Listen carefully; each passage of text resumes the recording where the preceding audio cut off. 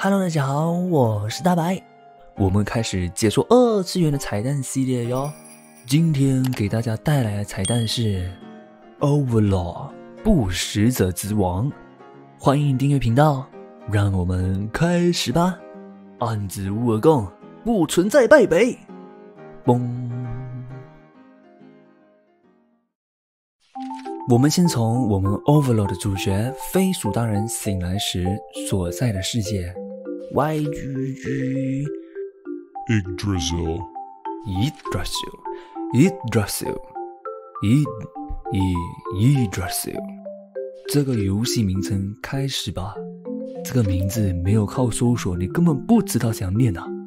它的由来是什么呢？Yggdrasil 在北欧宇宙学中是一棵巨大中央神树，在它周围存在着其他一切，包括九界。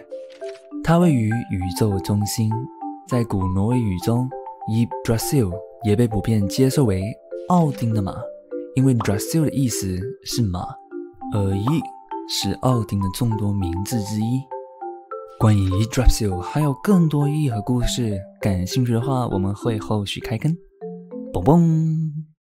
要说名字的起源，怎么能少了主角的名字呢？安之乌尔贡 （Ainz Ogorn） 这名字来源是由安兹一群人在游戏初期时开创的旧工会名称 Nine On Go，打乱字顺序后衍生而成的。原意也就是最初的九人，象征着九人的目标。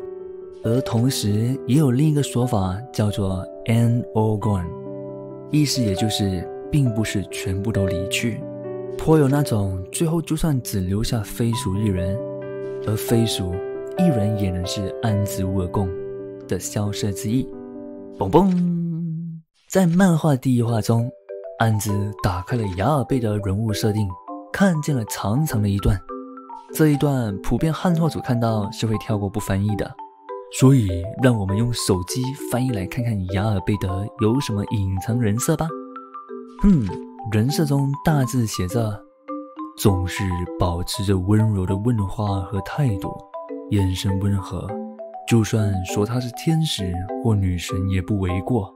本来就是作为最高位的天使而被创造，但因为和怪物融合了，人格也变得狠厉残暴、狡猾、肆无忌惮。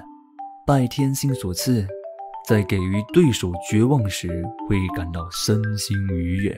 平时温和的表情，都是为了掩盖内心欲望膨胀的虚假表象。嗯嗯，总结的来说，雅尔贝德就是拥有着完美的御姐身材，加上抖 S 性格啊！看到大白嘴角的泪水不自觉流了下来。嘣嘣，顺道一提。雅尔贝德的名字 Albedo，其中的含义在科学定义上叫反照率，就是太阳照射在月球上时反射出来的光线，在拉丁文中也代表着纯白色的意思哦。这很符合雅尔贝德那全身高雅纯洁的晚礼服和那被人称作为纯白恶魔称号哦。另外一个有趣的点是，雅尔贝德这个人物。在原本的 Web 版本中其实是不存在的哟，是在过后文库版时才新加入进去的角色。在这里，为建议加上雅尔贝德那位仁兄献上我们最高的敬意和膝盖。嘣嘣。接下来我们能注意到，在安子体内中央有一颗发光的红色物体，这些被称作为飞鼠的红色宝珠，是安兹拥有的世界级物品之一。根据作者完善说法，飞鼠的名字原本就存在在那个世界物品上。作者说，这是除了他一个人之外，应该不会有人知道的顶级飞鼠的秘密。好了，现在大家都知道了。而无论谁拿到了这件世界物品，名字都不能更改，因为它是属于飞鼠的。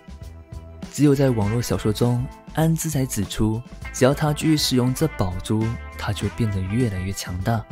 据说这个红色球体时刻都会散发出一种恐惧的气息。